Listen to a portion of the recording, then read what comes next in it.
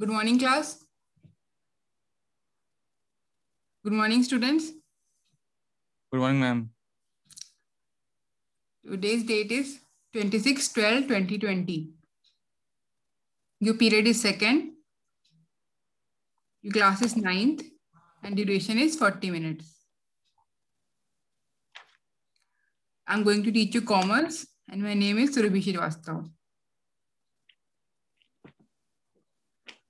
Okay, students, I'm going to ask you a few questions and you have to answer in a complete sentence. What do you understand by firm? A firm, a firm is a business organization. Yeah, in which business is performed? Yes. What is the main motive of business organization? The main motive of business organization to earn profit in the market. Yes, very good. How can business organization earn more profit in the market? By investing in a very much promised good whose requirement is a lot in the market. Achha, okay. How reputation can be gained in the market? Reputation can be gained by meeting the demand and supply Yes, very good. chain. What is the other name of reputation in business? Okay, so students, the, today's topic is goodwill. So here is the meaning ma'am. of goodwill. Goodwill is a company's value that exceeds its assets minus its liabilities. In other words, goodwill shows that a business has value beyond its actually physical assets and liabilities. These value can be created from the excellence of management, customer loyalty, brand recognition, favorable location, or even the quality of employees. Anything that adds value to the company beyond its access assets or liabilities is concerned considered goodwill. So good, uh, goodwill can be created from the excellence of management. When the management is very excellent, when it is completing all the tasks and all the objectives, and the customer loyalty is being fulfilled, brand is recognized, favorable location is there, or quality of employee also there, then goodwill is created.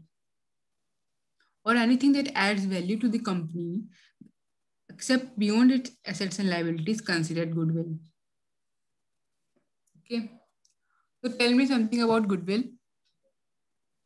Goodwill means the liability accessibility minus liabilities, and it has the com the com the com the business has some value and excellence, which can be of in the form of management or good employees or good performance and anything which can add in the value of that company.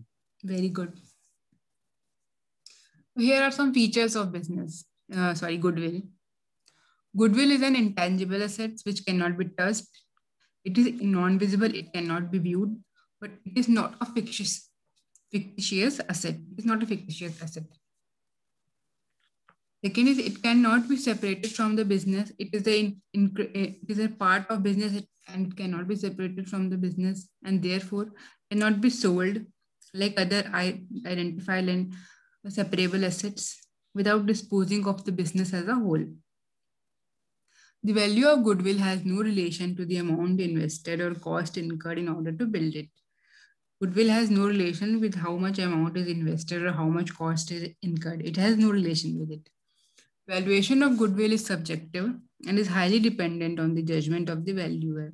How much value uh, valuer judge, judges. Goodwill is subject to fluctuation. It fluctuates, it keeps on fluctuating. The value of goodwill may fluctuate widely according to internal and external factors of business. So tell me one feature of goodwill. It is an intangible asset. Yes. Here are some types of goodwill. Purchased goodwill. Purchased goodwill, uh, as you see, it it is purchased. It arises when a business concern is purchased and the purchase consideration paid exceeds the fair value of the separable net assets as acquired. The purchase goodwill is shown on the asset side of the balance sheet. So it is a goodwill when a business concern is purchased and the purchase consideration paid exceeds the fair value of the separate net assets acquired. It means the value of a goodwill is also paid while purchasing the business of the firm. Non-purchase goodwill or inherent goodwill. Inherent goodwill is the value of business in excess of the fair value of its separable net assets. It is referred to as internally generated goodwill and it arises over a period of time due to good reputation of a business. The value of goodwill may be positive or negative.